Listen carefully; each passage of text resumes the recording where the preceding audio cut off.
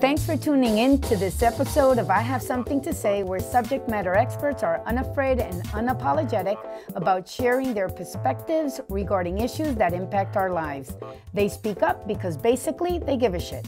So if you're tired of canned answers and want to finally hear real people cut through the BS and talk about real issues, this is the podcast for you.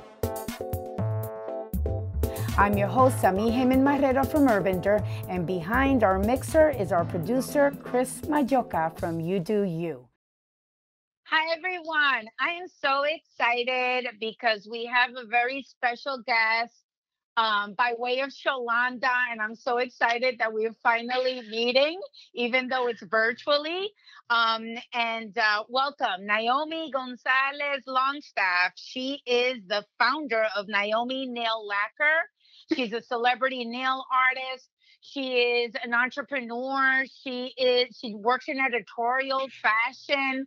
I mean, she's all over the world. Um, LA, Florida, New York, UK, and now we have her here with us. And I'm really, I'm, I'm, I'm in awe of you, Naomi. And uh, and and we brought her. I mean, there's so many things that we could talk about but we had to have you um, with us because there are a lot of people that are looking into entrepreneurship right now sure. that so many people got laid off and mm-hmm. of course I, and i'm speaking now for myself you know having my own company the big dream is to go global right and you've done it and you're and mm-hmm. you've done it and so as a you Latina. know, the, it, eh, as a Latina too, on mm-hmm. top of that, as right? As a woman. As a woman also. So there are all these layers. And so then if you could do it, I feel we could all do it. And I just want to listen, learn, and and and know how in the world can we scale? How can we,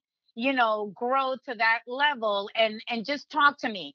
I, about your journey. Talk to us, you know, about me and Sholanda are like completely tickle pink that you're here with us right now. And I know you started over a decade ago. And so tell us, how did you get into this world? Yeah, I know, right? How did you get it takes hard work, look like this, right? An investment of time and energy. But how? How did you dive into, you know, the beauty industry, you know, and and knew that this is for me and and those first steps in your journey? You know, when you were describing me, like where I'm at, I'm so tired. I was tired. By the time you were like, this is, she's done all this, I'm like, how? I'm tired. You're just even saying it, I'm tired. Okay, it's funny, you know, let's, let's touch on entrepreneurship really quick because, oh, yeah, because I can remember, I think I was around six or seven years old. I used to sell paper, like stationery and supplies to people, uh-huh, like uh-huh. little little kids in my building. Uh-huh. We used to uh-huh. live in Newark. I was born in Newark, New Jersey, so we lived there, and um, I used to play with other kids, but they wanted some of my paper. I'm like, give me a you know a quarter or or five cents. I used to do that. I was like seven or eight. I had a couple little businesses here and there, but it wasn't until 2008 in which I really made a huge career change. I actually am a planner, an urban designer by trade. Oh, oh. I'm an alum. Yeah, I'm an alumni at UCF. I went to Valencia. Ah. And I went after Valencia. I got accepted to Columbia University in New York, and I went. Mm-hmm. And then 9/11 mm-hmm. happened, and I came back running back to Florida's always like my safe haven. mm-hmm. And then um, I started at UCF. I, I, studied planning. I had a dream job working with the Diocese of Orlando, actually. Mm-hmm. I would mm-hmm. travel between here and the Dominican Republic, and I did infrastructure management, hub coordinate volunteers, etc. Oh my and God, it's like a whole other world. world. Yeah, yeah. It, it, it, wasn't this. Uh, I'm going to tell you, it wasn't this. so, um, you know, I studied urban design, and I had this job, and um, and, and me and my boss, we didn't get along. Wasn't that a blessing or a curse? A blessing. Not definitely because you know they it, it was personality clashes, right? Mm-hmm. And and when there's personality clashes, you have someone who's like in their late seventies clashing with someone in their thirties. That's at that point it becomes a power structure. I think mm-hmm. a power play. You know, like this. Yeah and I, they kind of like put me in a corner, kind of speak like you need to do this or else, and I'm like, I'm out. Mm-hmm. I literally left that day in tears. Mm-hmm. Oh, wow. Left. And I said, if I need to change my career, it mm-hmm. has to do in something that I love. So what's the quickest way into that career? Because I love fashion and I love beauty. And like, mm-hmm. how do I do this? So I found a nail school and it was again, I'm a Central Florida girl all the way in terms of the way I was educated and and trained, I guess. So I found Winter Park, Winter Park Tech, which is an Orange County public school, you know, it's a tech school, vocational yeah. tech. I'm a huge advocate for vocational tech training. I think we need more of that, but that's a, that's a whole other podcast. Mm-hmm. All right, so I found that school like on a Monday, and it was the one in Avalon. I found the school on a Monday. I registered on Tuesday, and I started Wednesday. That was August 2008. I got wow. my license in January 2009. Um, that summer, I took my resume to like our industry trade show, which is Premiere Orlando. It's huge. There's like millions of people, thousands of people there.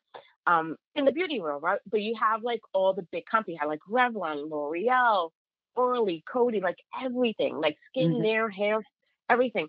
And I knew there was a company I wanted to work with, and I'm bold. No. Oh, no. You're fresca like me. Yeah, you're fresca. you're fresh. Whoa. I love it. so I, I I remember I took my and the reason why I knew of this specific company, it's called CND Creative Nail Design, was because for like 10 years before that, my manicurist who did my nails, I love the way she did my nails. Mm-hmm. And she used this oil. And I'm like, wow, if I ever want to do nails, I want to I want to be like you and I want to work for the company that you're mm-hmm. with or whatever. Mm-hmm. Anyway, so let's fast forward like 12 years. I go to Premiere and I go with my resume and I go to their booth. So you guys are familiar with trade shows, like mm-hmm. yeah. every company has a booth, right? So I go to this booth and I hand my resume to Roxanne Velinati, who's kind of like the big shot there. And I said, Hi, my name is Naomi Gonzalez. I was a Gonzalez. That's it, but at that time. And I said, um, here's my resume. I want to work here. And she said, Do you have any experience? I said, No. she said, How long have you? she said, How long have you been doing nails? I said, wait, wait, I said, Four months, right? Four months. and she said, and I took all these classes with them. It was great. And then that September 2009, I went to Spain for something. I think I was trying to get over a breakup. I went to Spain. it was a breakup with my now husband, but anyway. So I went, I went, I went to Spain to get to try to get over him. I don't think it worked, but went there with a lease in my hand to open up the first vegan nail salon in Sanford, wow. Florida, downtown Sanford. I didn't know what I was doing. Yeah. I swear I didn't know. But I knew that, you know, that thing like if you build it, they will come. Yeah. Mm-hmm. Mm-hmm. I had that attitude. And I'm like, I know for a fact that my worst work is someone's best work. Mm-hmm. And I just opened up this nail salon in 2009 the first vegan organic nails and I didn't use any kind of pedicure chairs. Every product that I had was professional, like pro products, CND pro products. Meaning mm-hmm. you couldn't go to Walmart or CVS and right. Targeting and pick up polishes or right. it was extremely exclusive in terms of products and extremely niche in terms of services. And that was mm. really important. Mm-hmm. So that was in 2009, 2010. I started getting a little like, hey, hey, hey, this is great. Then two years later, 2011, I remember, I think it was March 2011, I get a phone call. Do you know who it was? Roxanne oh. Valinati from CND, who I gave my resume to, and she said, I've been holding on to your resume for two years. We would like to invite you to California to do boot camp, which is their way of saying, hey, are you like good enough to be part of our educational team? Wow. Wow. And I'm like, oh my God, this is major. And I went and I had no idea what I was doing, and I couldn't do acrylic nails, and I couldn't do. I like I was a hot mess, right? But everyone else is a hot mess because what they do is like they break you down to build you up, right? Mm-hmm. So I, I got recruited. Fine, I, I passed it, and I started there. That that was my start in 2000 Wow. with CND based in California, and because I could speak Spanish, Mm-hmm. they sent me to Mhm. Mexico Nice. to a place called um, Querétaro, and that's where one of their um, labs, their manufacturing was for the Latin America distribution. So I went there to talk about shellac, which is what you guys call gel manicures now. You know, when you put Mhm. the like Uh-huh. that they were the ones who innovated that technology. And Wow. it's interesting because that was like kind of like a little oopsie how that shellac gel polishes came. They were Mhm. looking for a nice hybrid of things that could cure better with light and then oligomers and monomer. I can go into chemistry, but we Yeah. can talk about chemistry and women in research and development in another Mhm. But anyway, so so I went to Mexico and then that just opened up other opportunities. Like it was just one thing that just led to another way. Then and then you saw the manufacturing aspect and all of that too. right. So then it's like Uh, you were yeah. exposed to this whole other layer, then I got- right? Yeah. Right, and then in terms of R, we call that R and D in in our industry. In terms of research and development, I started doing testing, in which I would be sent products for me to test on clients. Because at this Mm. point, I had a salon, so I, Mhm. had the availability, the accessibility to get fresh hands, Mhm. and because clients usually come like every two weeks, three and a half weeks, four weeks or so, we can see what a true test. We can see Mhm. how the product is on the nail, how it lasts, how it functions, um, the longevity. That's a really big thing. Mhm. The structurability of stuff. Again, Mhm. all these other Yeah. And client Yeah. satisfaction and the feedback from the clients too, right? And that's like the most crucial thing because you can have a great product, but if the client doesn't like it, we're not going to develop it. And I Mhm. bring that philosophy into like my company now. Um, so yeah, I started doing that, and then 2000, then to I was like, I think I need something else because I'm getting a little bored. Mhm. And all this time, I'm a single mom too. I'm not like I, I'm not boku money here. I'm not like Rolexing my no, none of that. I'm a single mom with a nail salon. And in the middle of the depression too, of a Recession. Recession, because you launched Oh it in the middle of a recession too, right? Mhm. Mhm. A hundred percent. That's a great point. And then I was in downtown Sanford, and if you come to downtown Sanford now, it's it's amazing. But uh, 2009, like maybe 10 years ago, it wasn't this. Mhm. You know, I was like it. Mhm. I was very different than the norm that was there, and I had really good support from the from the people there. So you know, obviously there was something good, right? There was something Right. I was Mhm. able to really cater to a niche, and I think that's what I was able to really encounter. But then I started getting busy with CND and traveling and doing all these education trainings. And there was a friend of mine who's like, "I'm going to do some nails for this magazine." I'm like, "How did you do that?" She's like, "Well."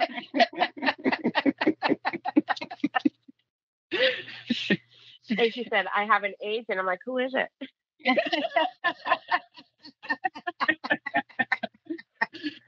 so I she gave me the name and I emailed that agent and they started giving me gigs. They didn't sign me. Mm. They just started giving me gigs because I'm in Florida. So if there's no one else, I need someone, they would call me. And I started working with them. And my first campaign, believe it or not, was the body issue for E ESPN body issue. Mm. Yeah. I did- Mhm. I did Carlos Bocanegra's pedi and mani, and it was in Claremont, and I was in love, but he was married.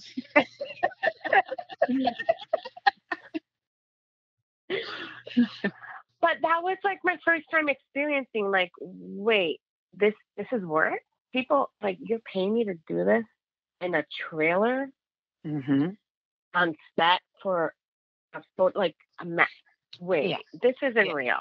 Yeah. And we're going back 2012. That's eight years ago. Before Yeah. what it is now, right? Yeah. And then I started. I started doing more work with them. I did that campaign. I did two of them. I did um Lane Bryant. I started doing Tory. Bryant. Like started doing. They would call me, right? Mhm. And then I remember in 2017, I contacted this agent. Same thing, and I was like, "Hey, if you need me, I'm in New York." I, oh yeah. And then I started. Okay, that's editorial. Then I started working as an assistant for a company called Zoya, um, Art of Beauty, and I was just an assistant, and I was working for another lead. Again, an assistant. Mm-hmm. Was, I think I was busy in 2012. and she was gifted the shellac manicure set by CND, and she said, "Hey Naomi, can you help me with this since you work?" I'm like, "Yeah, I can help you. I can help you with with with shellac." That opportunity led for me to not just assist her, but give me opportunities to be a lead at Fashion Week with the same company. Mm. Just because I knew the product, yeah, mm-hmm. of this mm-hmm. other thing. And you know, I'm not going to step on no one's toes. I'm not there like be like, hey, it, it, it's something that symbiotically is that a word, right? Mm-hmm. Symbiotically, kind of just yeah. like occurred, like yeah, mm-hmm. yeah. And then um, I started being a lead for fashion, which opened up a whole other world of of experiences and opportunities because now I'm working with designers. Now I'm working with like like you know now I'm working with like um makeup artists like Bobbi Brown. I work with Bobbi Brown. That's wow. yes. yes. Huge. Guys, I did a show for Carolina Herrera. The design V, like V. Mm-hmm. so mm-hmm. I was lead. So in their programs where they're saying nails, you know, whatever, I'm there. So I got the, so I'm getting Fashion Week experience and I'm getting the editorial experience. I'm still not signed. And then in 2015, there was a little shift in uh, 2013, there was a little shift in terms of uh, personal, and I was able to be recruited by Essie. Everyone knows mm-hmm. Essie, right? Right. Yes. Mm-hmm. mm-hmm. So to be one of their platform artists, and at this point, I was kind of like relocating overseas to England, and I said, "This is a a, a more global company. It's a bit more established. Plus, it's L'Oreal." Yeah. So I so I became one of their platform artists, and then in 2015, I moved to New York, where in New York City, um, Essie opened up this partnership with a renowned um, salon called Serge Normant John Frieda. You know John Frieda? Yes. The super, the, the yeah, yeah, yeah, the hair mm-hmm, mm-hmm. mm-hmm. He's real, by the way. He's, he's British. like a real person. he is. I've met him. and um, I, I worked at Serge's. He's a French dude. Um, as his salon, as their house for the resident manicures with Essie. Wow, nice. And mm-hmm. that's where I really started to get celebrity clientele.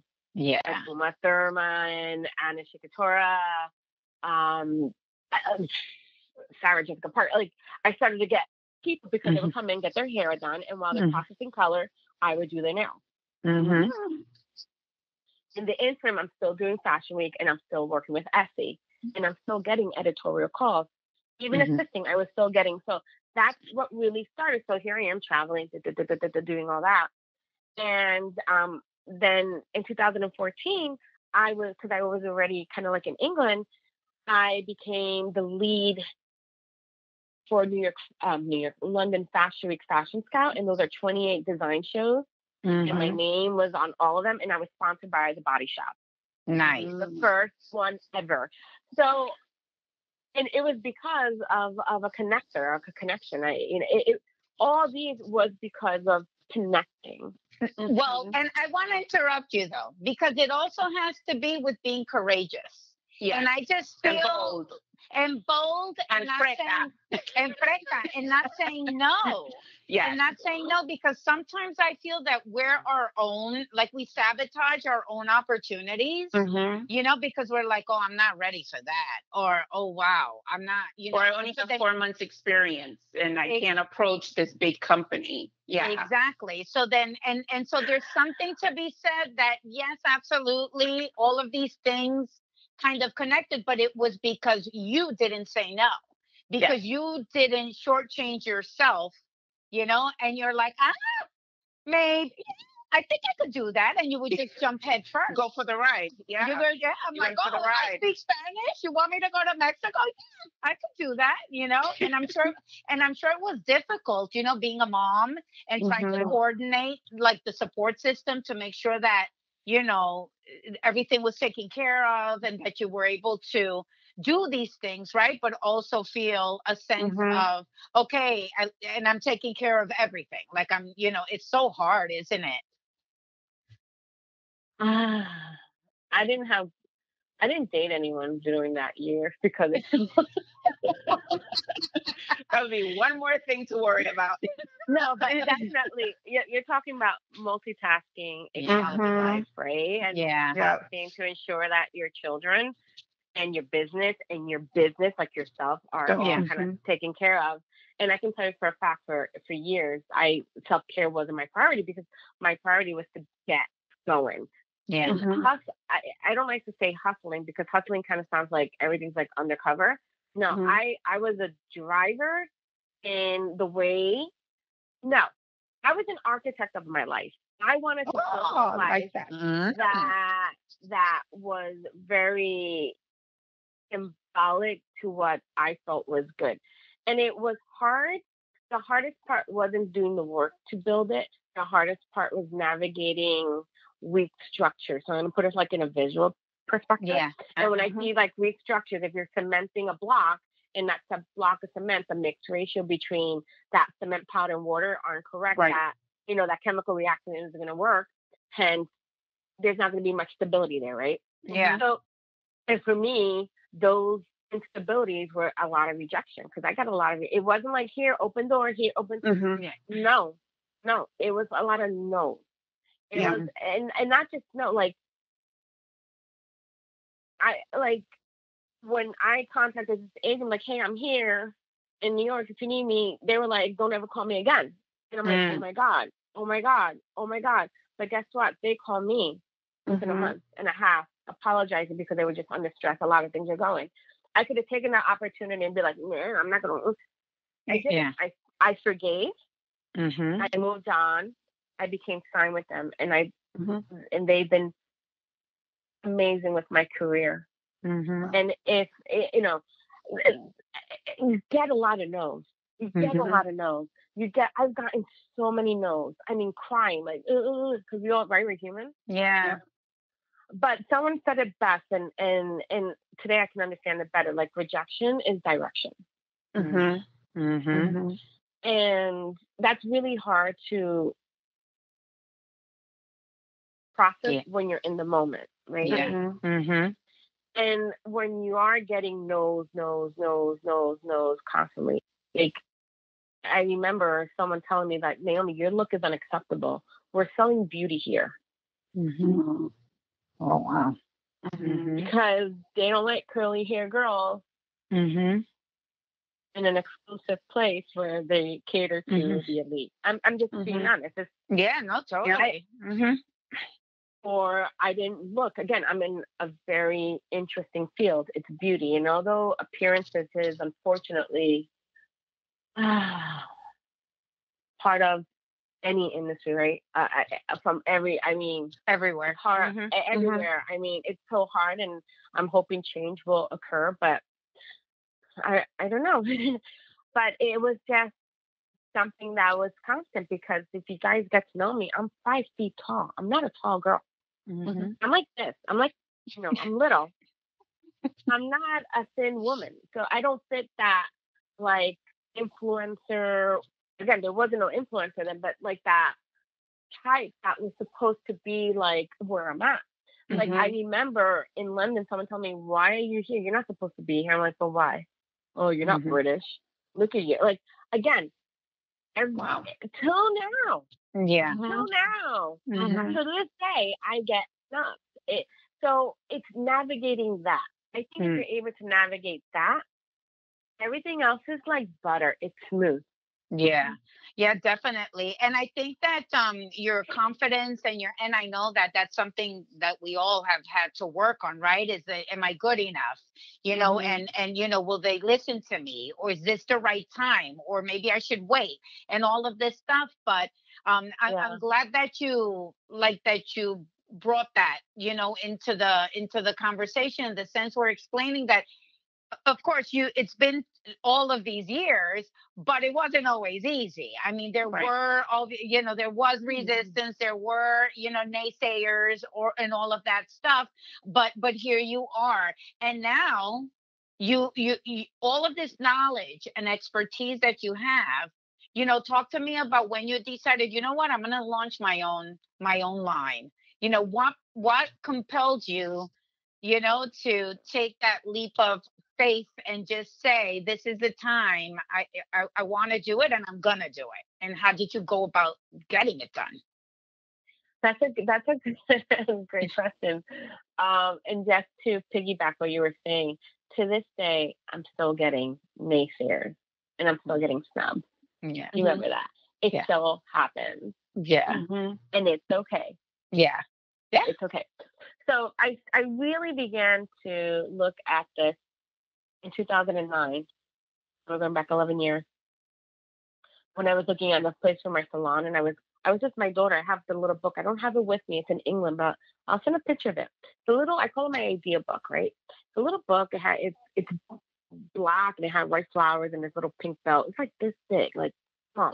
And I go, Jackie, write down the measurements of the door to we looked at. And I go, you know, Jackie, what kind of nail polish names would you? We should put, we should come up with our own polish names. And Jackie's your daughter, right? And your Jackie's your Yes. daughter. Uh-huh, Jackie's uh-huh, my daughter. uh-huh. she would write it down. And so from 2009, I had an idea that I had names. So obviously, somewhere in the psyche, Hmm.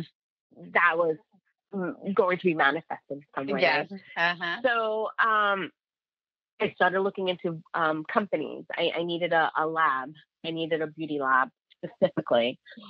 And um, I started searching. Then I found a lab, I think in 2013 or so um, in South Florida. And we started, you know, because again, um, I like how you say, say fresca. Um, and I was like, I'm gonna just, I'm gonna email them and see what room is there for me to either buy stuff, product, or buy buy the lab. Mhm. oh.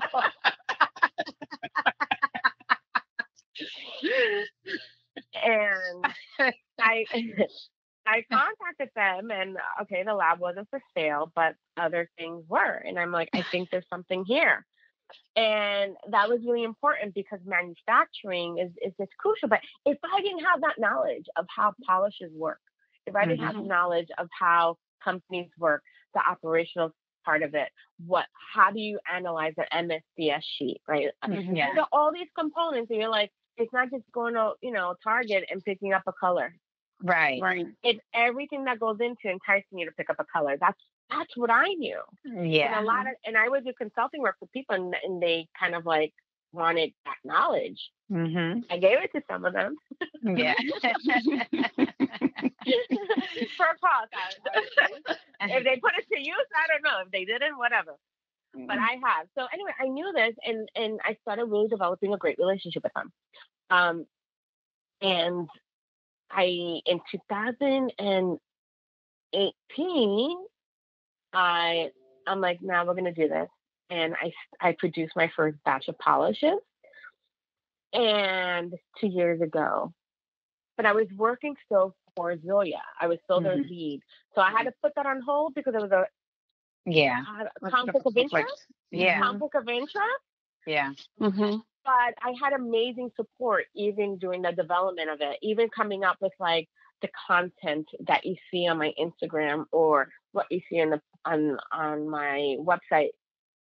It was a labor of love from a lot of people Yeah. that believed in me, that Yeah. wanted to support me. And I think Yeah. that's pretty awesome, right? Yeah. So um yeah, so in 2018 I started my first batch and it sold out. Wow. I- I didn't Wow. post it. I didn't do I didn't do any of that. Right. It was it was literally I had to give samples away because you want you want to gift the press or Yeah. influencers and other manicurists. But it went from the hands of designers. So designers started using it and the editorial started using it. Mm-hmm. So like if I'm on set, so I did that year, I did the cover of InStyle magazine with Serena Williams. Nice. And we do stand and I for that. Yeah. Boricua in the I love Ser- Serena Williams, uh, I'll tell you something about her that I, I really, she is chilled. She is Mhm. chill and fantastic. And she didn't have an entourage. You would think, no, she had a makeup artist and a hair art, like a, a hairstylist there. They were, we were just chill. mm-hmm. you know, and you know your place when you're doing when you're on set with a listers. Mm-hmm. You, you know your place. You know you. There are some rules, some gentleman rules, but anyway, um, I did that and and reuse sand and skin. Um, that's one of my colors. Mm-hmm. It was selected to be used, but she already had her nails done. So I did some other stuff while you're on set as a manicurist. You don't only do nails. You do you are licensed to do massages as you know mm-hmm. as yeah. part of it. So she, her legs are being massaged, her arms, etc. Just you know part of the deal. You can pamper them in other ways, not just right doing right. nail care. Okay. Right. So anyway, so in yeah, in 2018, and then I got a call from Makeup uh, Makeup Forever. You guys familiar with Makeup Forever? Mm-hmm. It's a makeup mm-hmm. company. Oh. It's, ba- mm-hmm. it's based out of Paris, but they have an academy. And they're like, Naomi, would you mind sponsoring or coming and launching your line? So I launched my line in New York in July of 2018. And then it just, that's it. Blew up. And then, yeah. Yeah. And, and then I took a break for a year because I contractually legally had to. Yeah. And then we relaunched now during this crazy pandemic. And people are like, why are you doing it now? You're crazy. People don't have money. And I said, no, you're mm-hmm. wrong. Why not launch, it now? Listen, because mm, now we need it more than ever. Now we need it more than ever. Yeah. Not only that, I mean, I want you guys I like business, but I I never went to school for business. I don't have like a business. I just want everyone to know I don't have a business degree, but I have like this thing about it. I does any you know what I mean?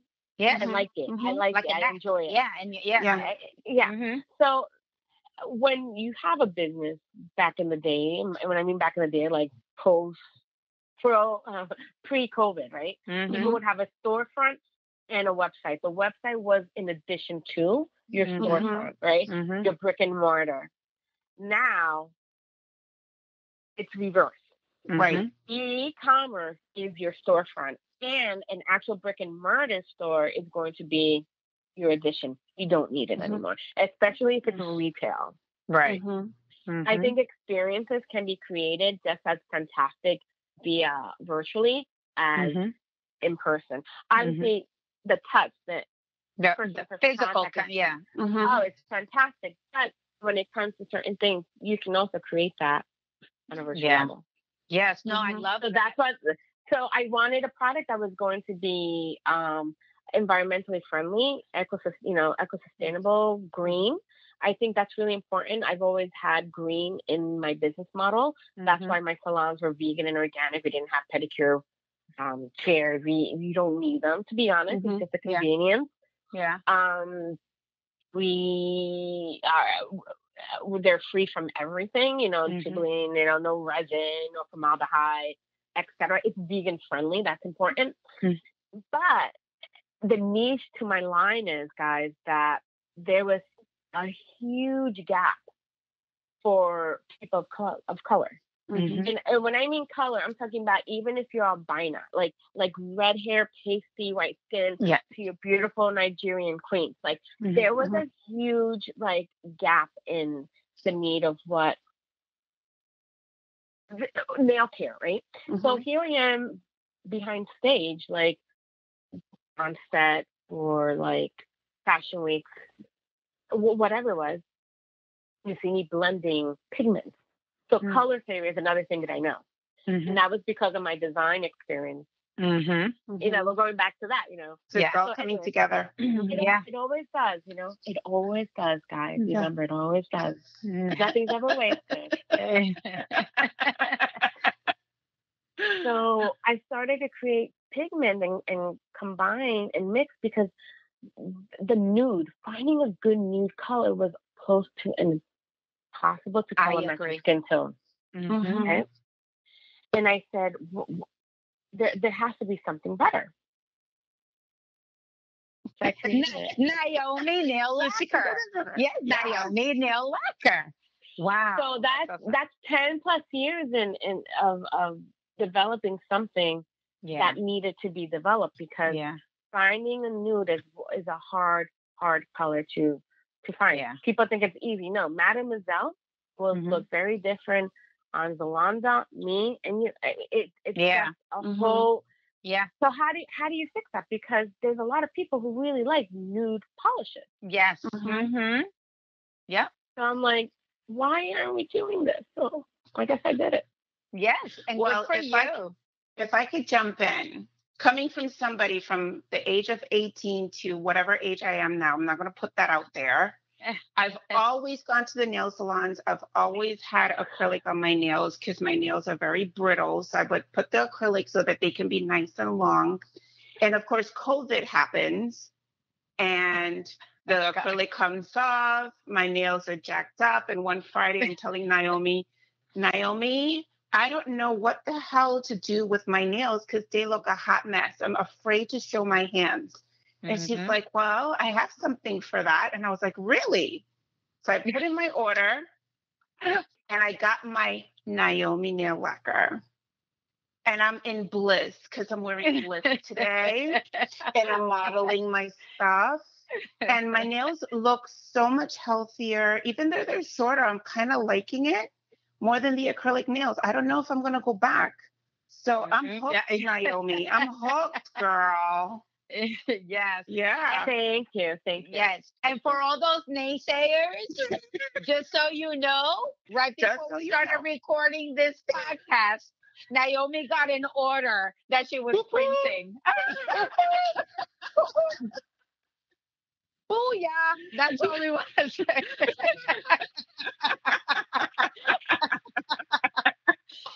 And, that's the thing, you know, I wanted to make, believe it or not, and, and Yolanda, thank you for that. I wanted to make nude sexy. I wanted to make Mhm. natural nails sexy. I wanted to be able to get a color that is as natural as your skin tone. I wanted to make that and create that sexy, but also part of you. Because I think that's Yes. Yes. yeah. I love it. I love, love it. This was so much fun.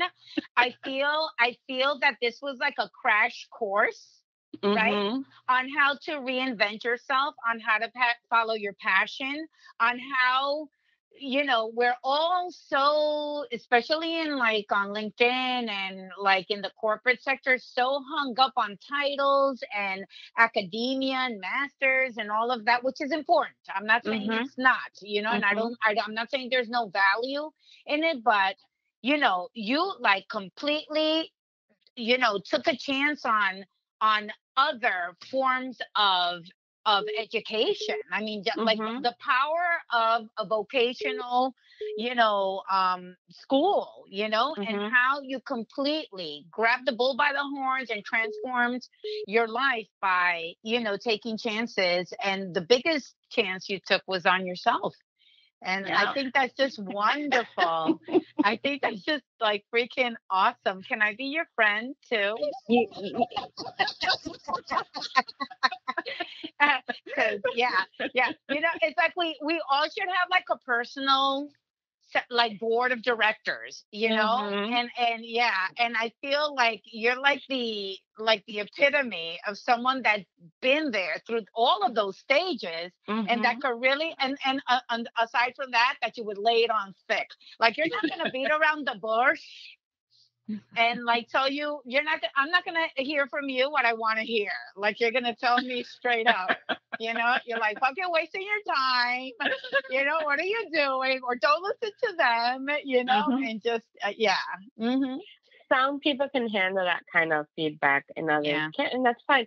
You know, it's funny you say this because I I think we forgot to tell people that I also don't live in America full time. yeah yes exactly I, I also live in England, yeah Mhm. um, and I have a whole other business there, and it's still related to nails. so uh, you were talking about uh, when we first started. You were talking about how to get global, and and and I this part I think I got lucky because I was able to live in another country legally. you know, I was able to Yeah. get there, so I'm able. I was able to get there and and work right away. That's what I need. But um, it- it's. I believe anyone can do whatever they want to do if they want to do it. I think a lot of it has to do with the drivers within yourself and the Mhm. desires that you have.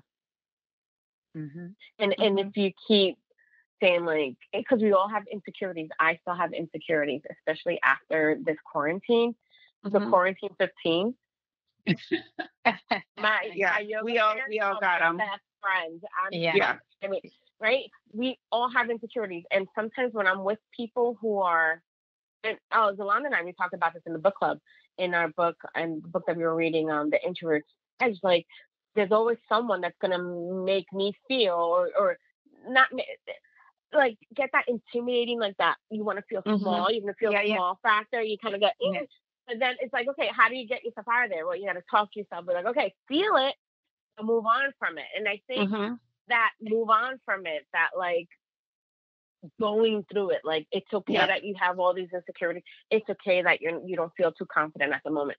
All those feelings are normal, and all those feelings are natural, and it's, it's so okay. It's so okay. But it's how you navigate that. That's going to be mm-hmm. your key to success at the end of the day. When mm-hmm. people ask, so how come I've been doing this for all these years? And then I'm like, okay, let's talk about it. And then they start sharing their story, and I see them like, oh, baby, I wish I can just hug you, but you got to hug yourself through those moments of difficulties. And I think yeah. that right there, that is navigating that. Navigating that is the key to anyone's mastery. Does that make sense? Mm-hmm. Yep. Yes. Absolutely. Totally, Absolutely. Totally. This was so much fun, Naomi. I feel like yes. I could, like we could talk to you for days.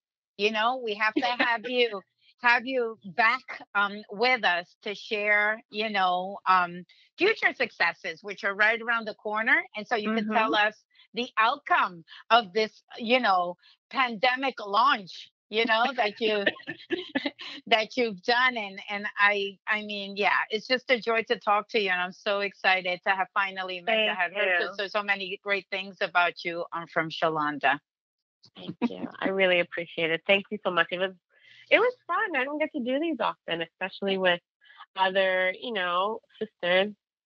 Yeah. Another mister. And yeah. yeah. it, it's kind of, it's definitely refreshing. So thank you for having me. Thank you. Oh, anytime. Oh, you're welcome. Anytime. Awesome. This concludes this episode of I Have Something to Say. We want to thank you for tuning in. Don't forget to tell your friends about us. We're on Spotify and iTunes as well. There's more to come next week. And remember, if you have something to say, it's time to speak up.